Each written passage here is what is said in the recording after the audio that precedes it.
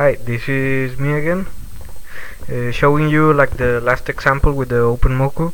It's a Python OpenGL server um, application running on the computer here on the monitor, displaying a robot.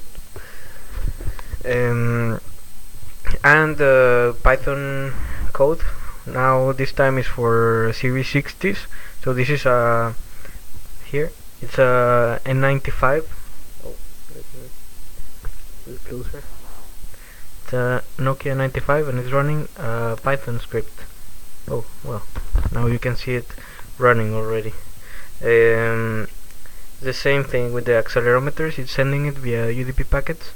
So, yeah, it's a modification of the other one.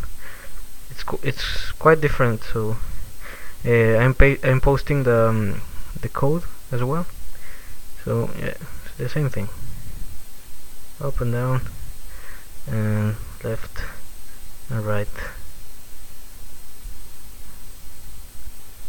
Well here you can see that. There here. Okay I think that's it. I will put the code in mobinja.com as usual. Um, so that's it. Goodbye